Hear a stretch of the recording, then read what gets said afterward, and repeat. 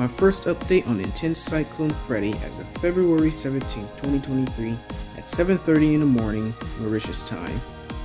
Now this storm is a Category 4 equivalent cyclone on the Saffir-Simpson scale, with winds up to 140 miles per hour or 220 kilometers per hour, a pressure of 944 millibars. It is located around 15.4 degrees south, 76.6 degrees east, moving west at 14 miles per hour or 22 kilometers per hour. Here's the latest JTWC forecast cone. They are expecting gradual weakening as the storm approaches Madagascar is going to pass close to the Mascarene Islands, all three of them it seems, before making landfall in Madagascar within the next five days. Here's what the statistical models are saying. They're expecting the storm to uh, maintain intensity.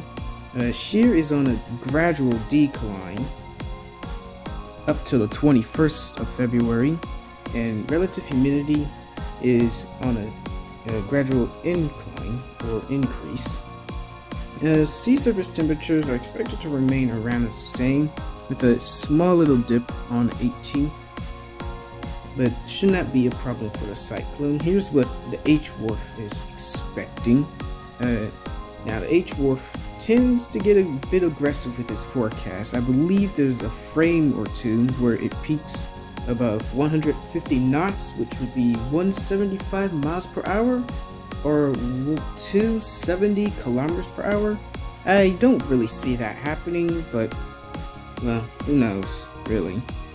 It has a good it has a good enough environment and it has a good amount of time so it could achieve such a intensity. Now here are the sea surface temperatures. Like i said not going to be a problem for this system. 20 28 degrees celsius up to landfall with few pockets of 29 celsius if it goes uh, north a bit more north than what the forecasts are saying now here's the visible satellite of the storm as from Dapi, Dapia or Dapi, Dapaya. Uh, looking good on visible satellite, uh, at least compared to its infrared from the same sourced from the same site. Uh, the storm starts out with very cold cloud tops, but they warm quickly. And and I'm pretty sure the eye is also warming, so yeah, sending mixed messages there. Uh, warmer cloud tops will indicate a weakening system, but a warmer eye would indicate a strengthening system. And that is the end of this update.